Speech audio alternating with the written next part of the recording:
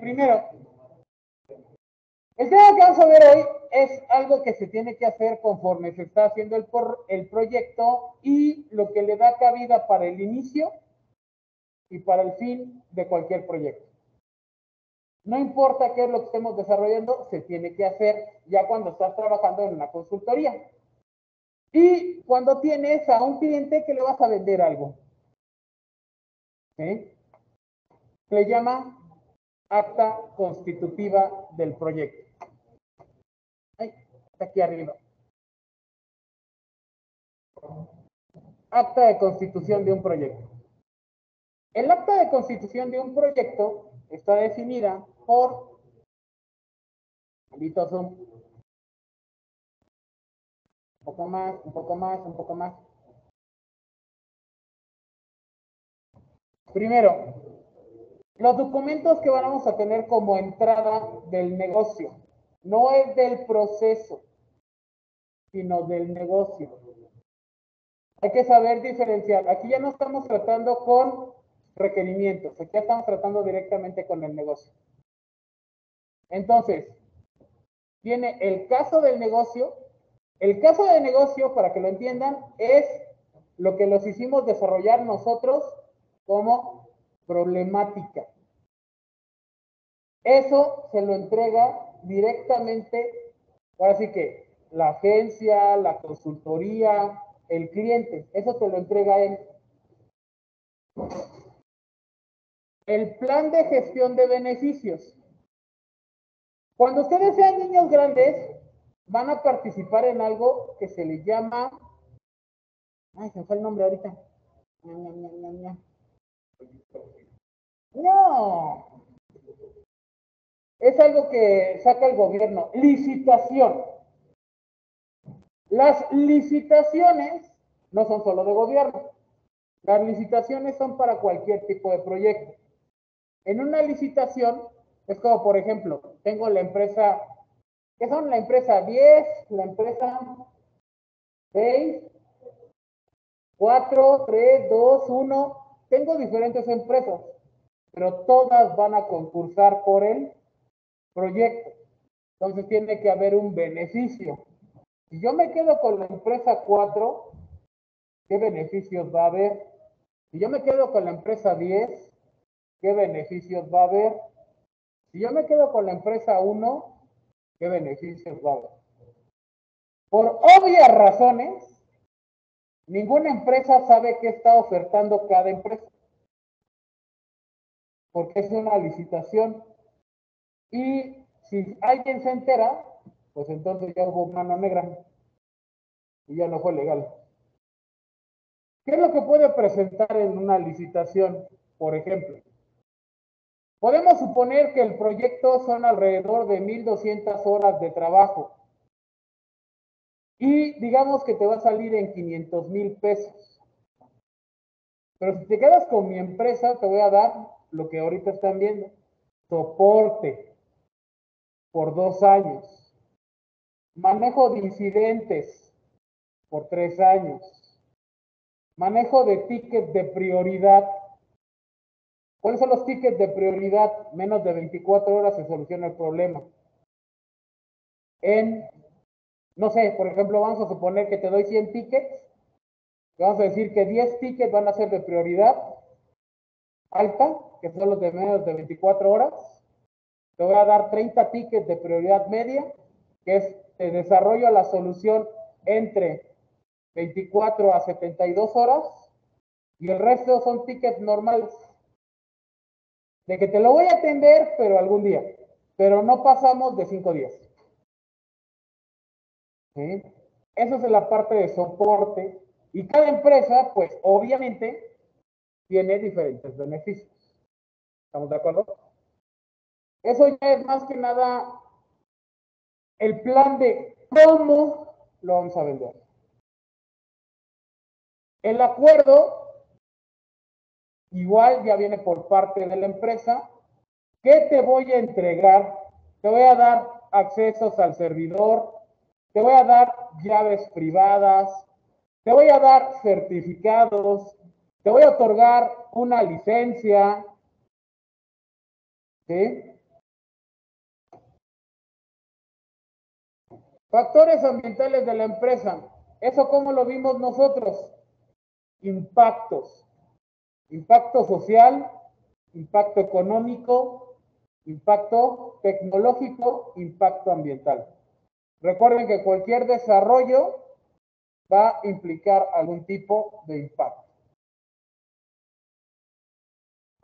Activo de los procesos de la organización. Ahí va a depender del tipo de desarrollo, qué es lo que vayan a ocupar. Si van a ocupar instalaciones de la empresa, qué edificio, qué oficina, en qué horario, con qué insumos. Ya todo documentado en regla. Herramientas a partir de juicios de expertos, recopilación de datos, cómo es que se van a reunir de trabajo, puede ser por tormentas de ideas, grupos focales o por entrevistas. Se tiene que esclarecer cómo van a trabajar. Pueden tomar uno o varios.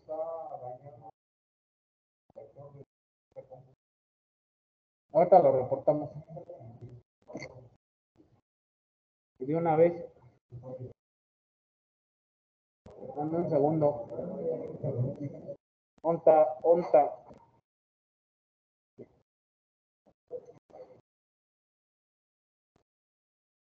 Pásalos para que. Ahorita yo le tomo foto. Habilidades interpersonales y de equipo, que es para la gestión de conflictos, facilitación de reuniones.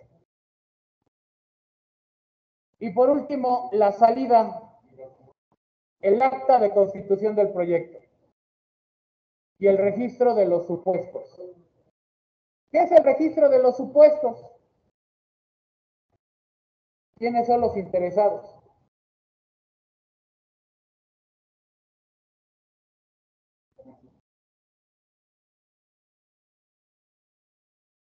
Para cualquier acta constitutiva de proyecto se debe seguir lo siguiente.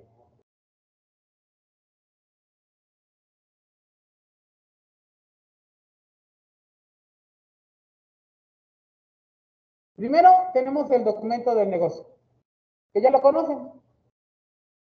Documento de requerimientos. De ahí,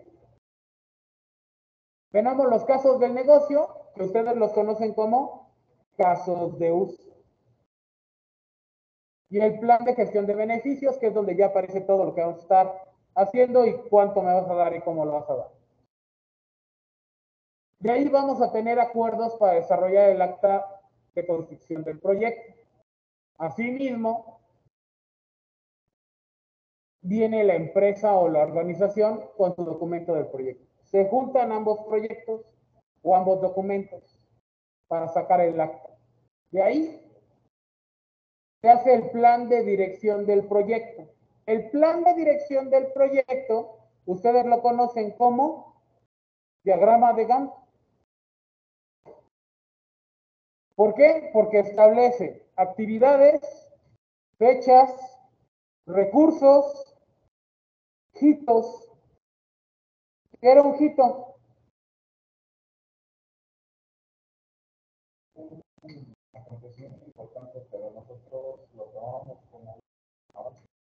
Un avance. Entonces, ¿cuántos avances voy a tener?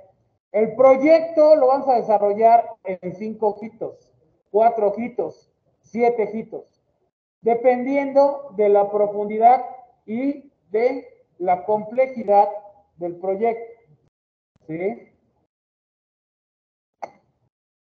Para cada etapa va a haber un cierre de fase. Eso cierre de fase es lo que hemos estado experimentando con cada sprint.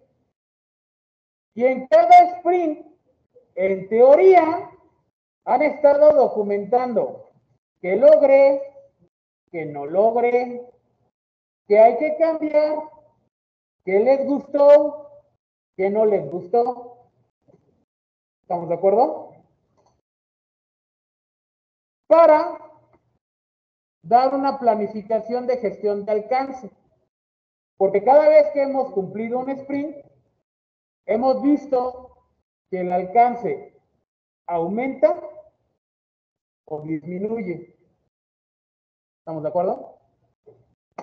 Y otra vez empezamos con recopilar requisitos, definir alcances, gestionar el cronograma, gestionar los costos, planificar la gestión de calidad, que eso por cierto nadie les ha dado y no lo verán por lo menos en media superior, eso ya lo verán en superior, porque no hemos visto nada, absolutamente nada de calidad. Y eso es toda un meollo. Así que digamos que existe la calidad. Gestionar los recursos, gestionar la comunicación. ¿A qué nos referimos con la gestión de la comunicación?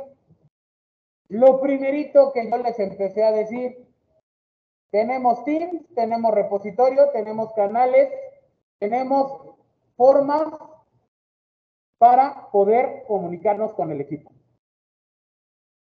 Y se tiene que ocupar las oficiales.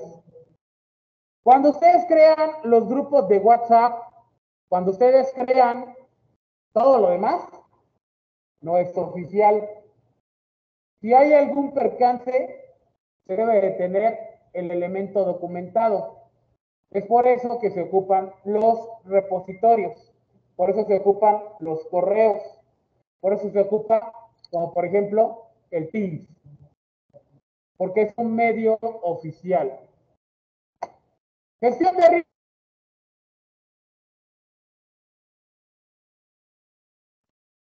Gestión de adquisiciones del proyecto. Gracias a la diferente experiencia que han tenido con los proyectos, se han dado cuenta de que, ah, ya no es el servidor que yo creí, ahora es tal servidor. Tenemos que agregar un certificado de seguridad. Tenemos que agregar una licencia de tal cosa. Tenemos que agregar. Entonces, por eso los costos pueden ser un poco variados. Aunque tratemos de controlarlos, llegan a ser variados. Identificación de los interesados, eso ya lo vimos, a partir de los stakeholders, que son todos los que están involucrados con el proyecto. ¿Estamos de acuerdo? Y planificar, planificar el involucramiento de los interesados. Debo de tener un cierto orden de que no podemos simplemente decir, oye médico, vas a entrar hoy a la reunión que vamos a tener o hasta la otra. De una vez, de una vez. O como por ejemplo que ahorita estoy esperando que llegue mi full stack que no ha llegado a mi reunión para que la inicien. Mira, aquí está. Porque yo estoy en clases y no puedo iniciarla. Y eso es genial. ¿Puedes decirles que ahorita se inicie? Ahí en el chat. Es decir, que en realidad sí fue a comer. Todo este flujo es solamente para crear el app. ¿Sí? Ya después aquí viene todo el aburrido de cómo se desarrolla, qué elementos tiene, así que vámonos directamente al ejemplo.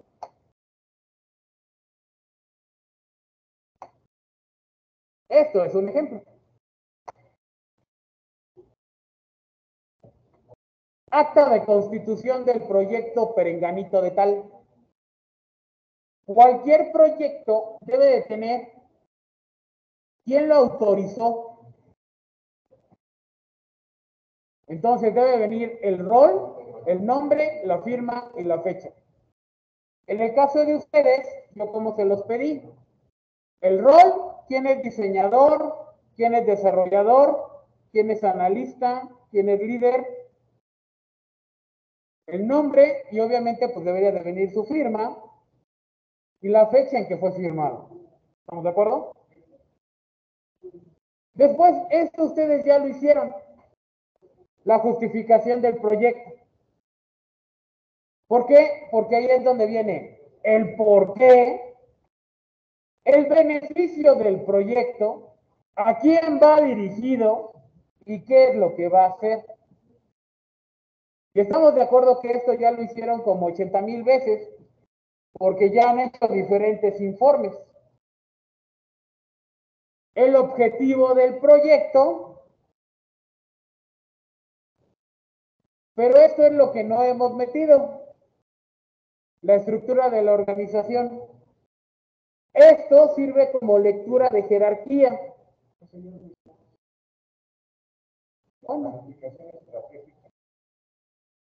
Ah, sí. Ay, con razón, como nunca la pe. ¿De qué nos sirve ver la estructura de la organización?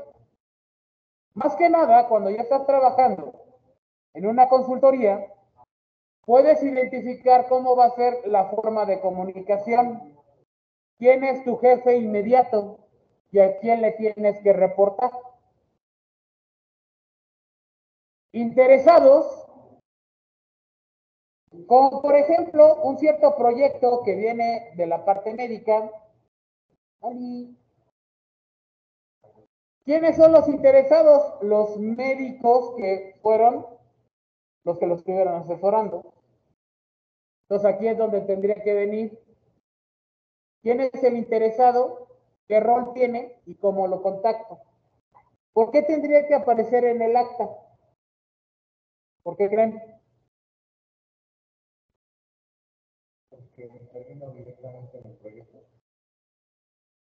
Y más que nada porque me va a servir como veracidad de la información. Porque si algo que no se pase, pues ya me va a, puedo contactarlo y decir, oye, tú dijiste que existía esto. De acuerdo al proceso 1, 2, 3, nos dice esto, ¿es correcto?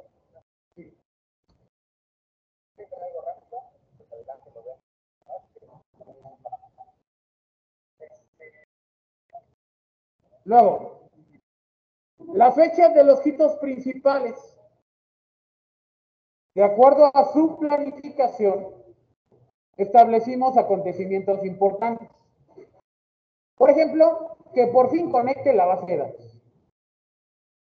Que tengamos todas las pantallas. Obviamente en el ámbito empresarial, pues no es de ese índole.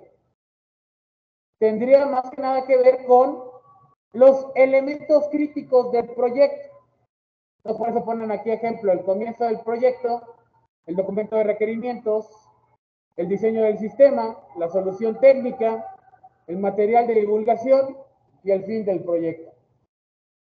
Cada uno de ustedes tiene diferentes hitos. Y hasta ahorita han sido los sprints. ¿Estamos de acuerdo?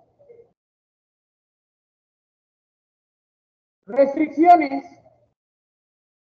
¿Qué son las restricciones para ustedes? Como la delimitación de su proyecto. Diferencia entre una limitación y una delimitación. La limitación se puede superar, la delimitación marcando que no se puede pasar. No se puede pasar, es algo que no va a ser, algo que no va a tener. Entonces, cada uno de los proyectos que ustedes han tenido han definido cuáles son los alcances, qué es lo que sí vamos a lograr y de limitaciones, que no vamos a tener. Y aquí viene lo bueno.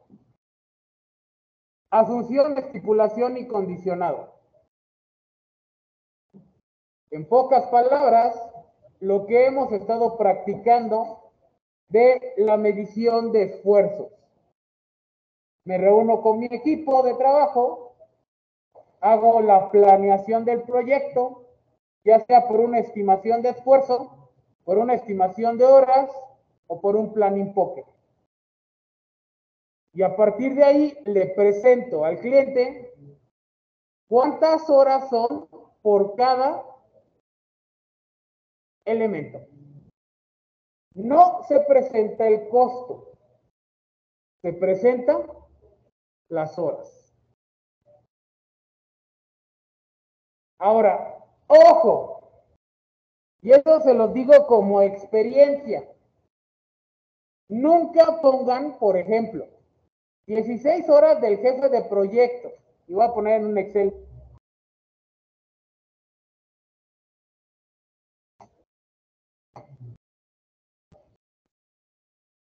Vamos a ponerlo acá. Y eso lo digo por experiencia. Por ejemplo, son 16 horas del jefe de proyecto. 40 horas del analista. 100 horas del programador. Y 420 horas del otro programador. Y tú dices, no, pues es que el jefe de proyecto, no sé, vamos a suponer que va a ganar 1500. El analista va a ganar 750. El programador va a ganar 600 y 500. ¿Verdad?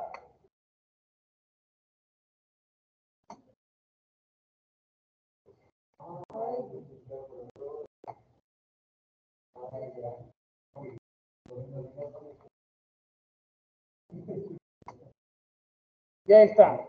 Dices que el costo del proyecto es de 324 mil. Uno de los errores más comunes cuando presentas esto es que dices, pues es que el jefe de proyecto va a cobrar 24 mil pesos. El analista 30 mil, el programador 60 y el otro programador 210. Eso es un error. ¿Por qué? Porque yo me imagino que como el programador es la mano de obra, se ve que sale muy caro y no quiera contratar.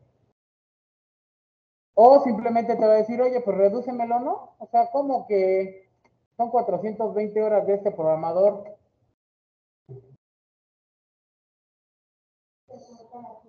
Recorta las horas, ¿no? Así que es, y luego, peor tantito, cuando le dices a tu equipo, aquí está mi programador 1 y programador 2, ¿cómo te sientes, programador 1? ¿Por qué? Ve? Vas a ganar 60 y el 210. No, pues es que como así. Exacto, y es donde empiezan a tener conflictos. Así que esto nadie lo ve. ¿Quién lo ve?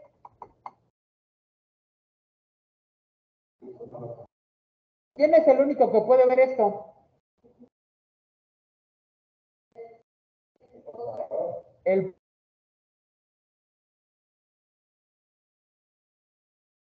Todo esto, ¿cómo lo ven todos los demás? Ay, no era.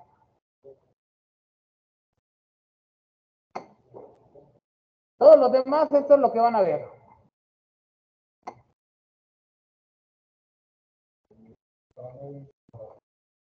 Son las horas de trabajo y el costo. Así es como se evitan los conflictos. ¿Por qué él gana más? ¿Por qué él gana menos? ¿Por qué tiene esto? Eso ya es un asunto que se tiene que arreglar entre el PM y cada uno de los involucrados. Segundo, cuando sea la estimación de horas, recuerden que deben de considerar el mejor y el peor escenario y aún así tener una holgura. Ahora, estos 324 mil pesos, entiéndalo bien, son solo salarios. Ahí no está estipulado ni licencias, ni servidor, ni nada. Solo es salario. Y ojo, ya que estamos hablando de Hacienda, porque es el mes donde se pone bien bonito, Son brutos. Ups. Significa que a todo esto tienes que agregarle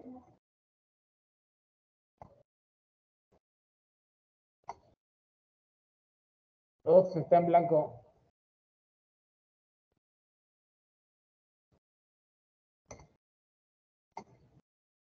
Así que este es el costo considerando los impuestos de únicamente el IVA. ¿Sí está el 15? No, está el 16, ¿no? 16. Está el IVA con IVA.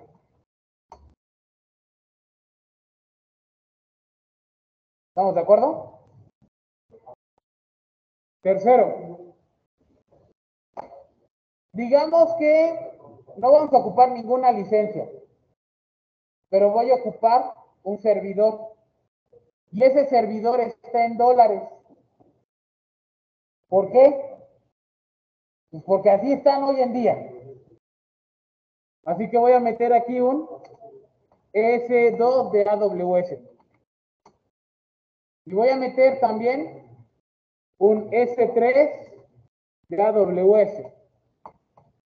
Y digamos que el costo del S2 va a ser de 75 dólares y del S3 va a ser de 22 dólares. Esto tampoco es fijo, porque eso es una estimación del consumo que va a tener. Entonces, en el acta constitutiva,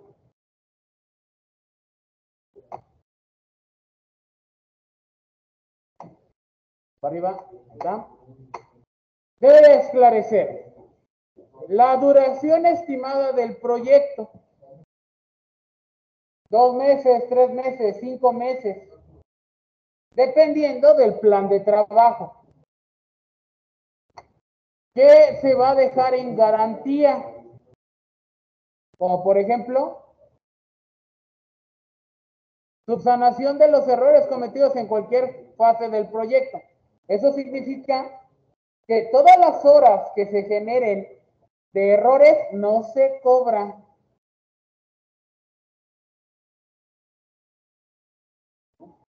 Ah, pues. O por eso, aquí es donde empiezas a jugar con qué?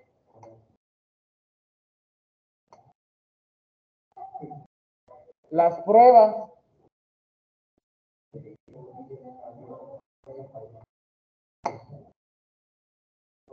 Y ya, durante seis meses desde la certificación de los trabajos, el importe sin IVA asciende a Creo que le falta un cero.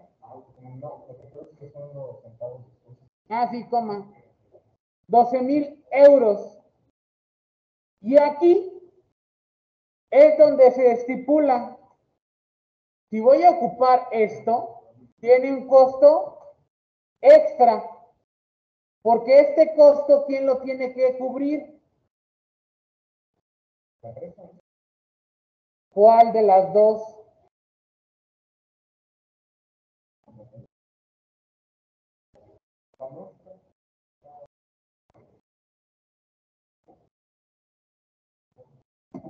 Esta parte, si el cliente ya tiene un contrato, pues simplemente se ocupa de los recursos que él tenga. Si yo como consultoría ya tengo un contrato, se hace una estimación. Si nadie tiene el contrato ni el convenio, se tiene que incorporar que hay que crear una cuenta en AWS con esas especificaciones y que ese precio puede fluctuar. ¿Por qué? Porque esto está en dólares.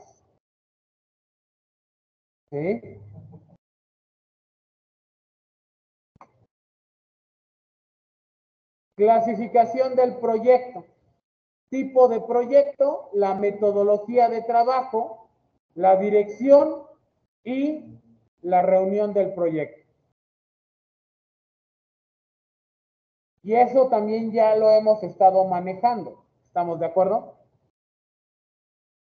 Que sería el nombre del proyecto que ustedes tienen, la metodología con que lo han estado desarrollando, que es la de como Dios me da a entender. La dirección, que sería el líder de equipo, y las reuniones que ustedes establecieron, que se les solicitó al inicio del semestre. ¿Sí? De la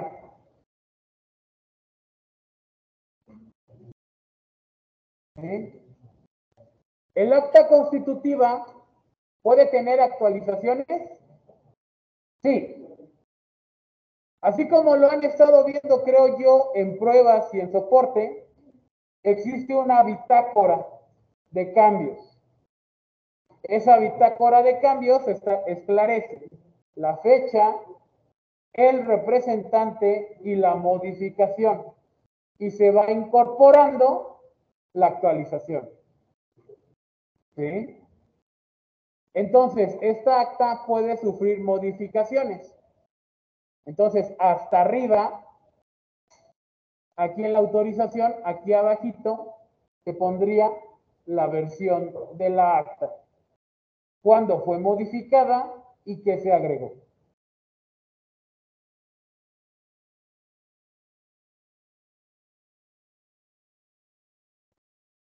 El acta es uno de los elementos principales del proyecto.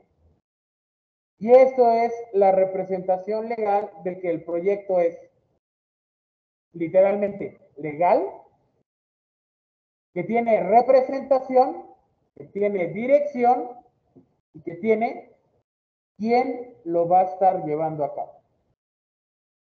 Así que la buena noticia es de que quiero mi acta. Exacto. ¿A cuándo?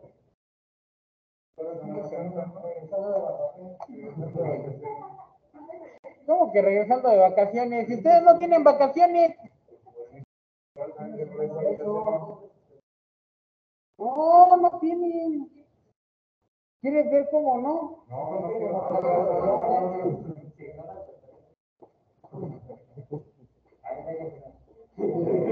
semana,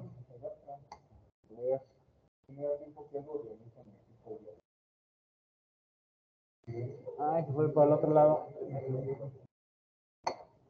Ahí está. Crear tarea.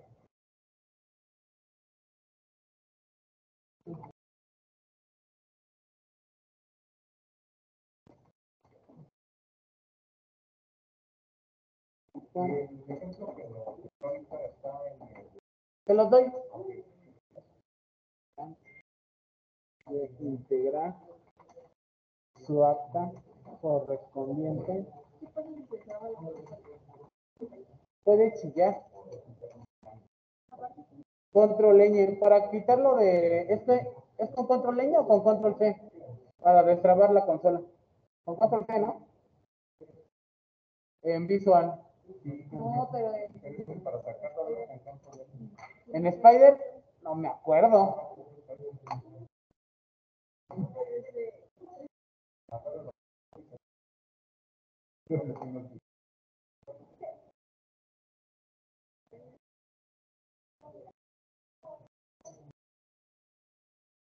Atínale, atínale, sí se puede. Ya no veo el mouse. Ahí está el mouse, ahí está el mouse.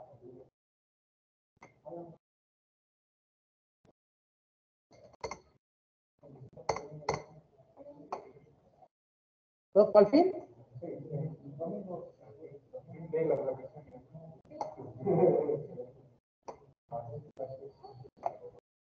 ¿Dudas? Los que están en línea.